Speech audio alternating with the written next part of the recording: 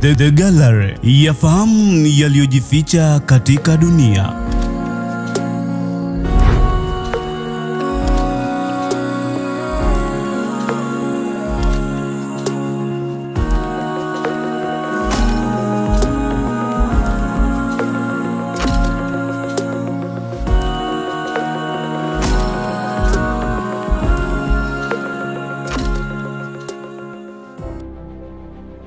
Leo The Gallery ya QTV tumekuja na stori nyingine ya mwanadada Happy ambaye amekuwa maarufu na ule wimbo wake wa watu feki.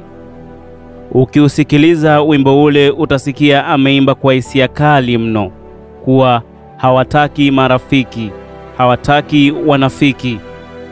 Hii yote ni historia ya kweli ya maisha yake, yaani baadhi ya watu wake wa karibu walimtendea ubaya.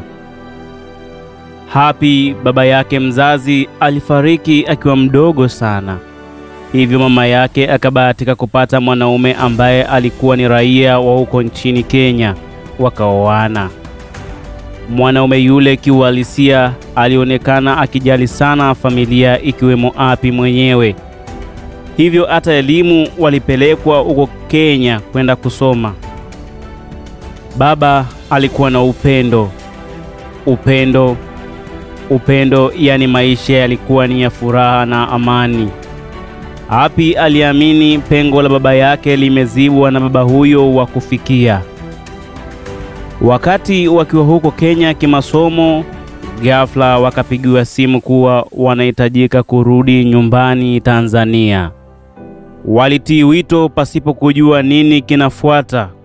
Kweli alikuja baba huyo wa kufikia akawachukua na akawapeleka kwa bibi yao, na huko ndipo walipoambiwa kuwa hatamwona tena baba yake huyo wa kufikia.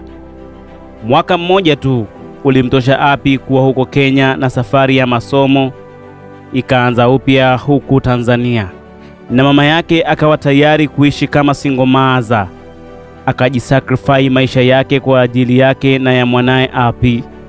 Embuona tuchukue darasa hapa kwa wale ambao hatujaingia kwenye ndoa lakini tuna mpango wa kuingia kwenye ndoa, tujifunze kitu.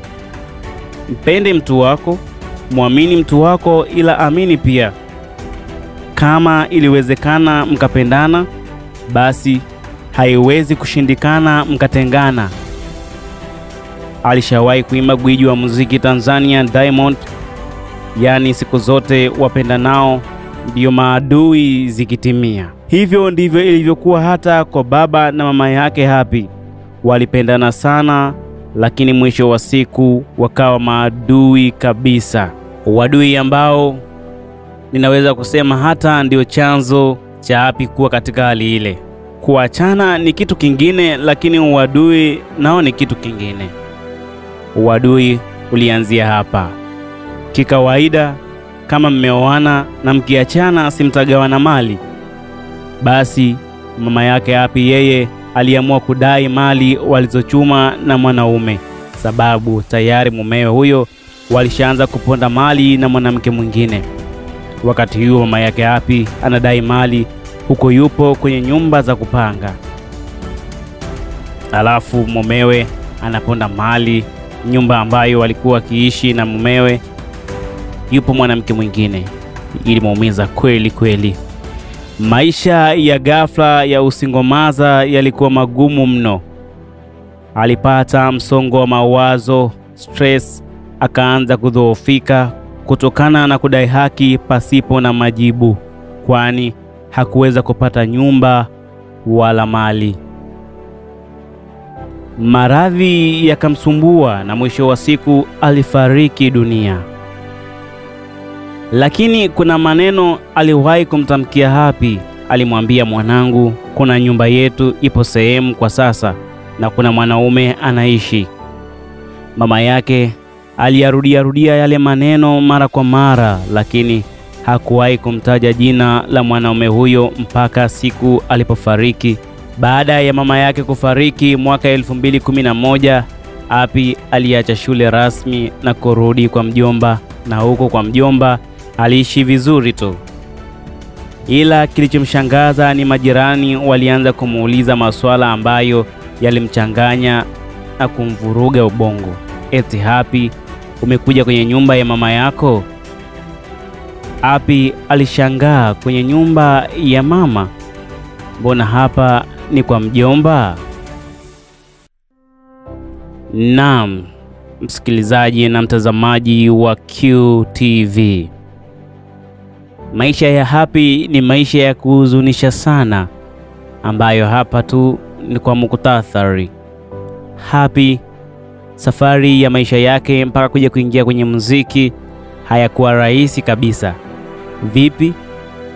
Hapa yupo kwa mjomba yake, lakini majirani wanamwambia kwamba umekuja kwenye nyumba yako. Kwa nini majirani waseme hivyo? Waliona nini? Je, mwanaume ambaye mama yake Hapi alikuwa anamsemea ndiyo mjomba yake na Hapi ndio nyumba hiyo ambayo ni ya Hapi au majirani wachonganishi? Na je, nini kilitokea katika maisha ya Hapi? Kwa nini anasema maisha yake ni ya huzuni?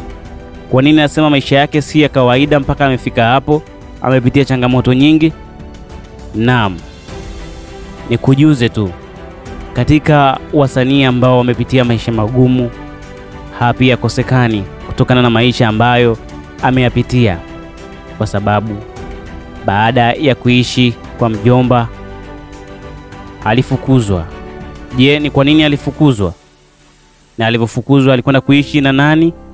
Na maisha yake ya mziki yalianziaje? Yaani safari ya kimziki ilianzia wapi? Ndoto yake aliifahamu vipi? Naam, usikose sehemu ya pili ya simulizi hii ya kuhuzunisha sana. Mimi ni Steven Kamil na hii ni The Gallery ya QTV. Usiache kutufuatilia kule Instagram, tunapatikana kama QTV Tanzania, Facebook QTV Tanzania na kule TikTok QTV Tanzania, YouTube usiache kulike, kusubscribe, kukomenti na kushare. Asante.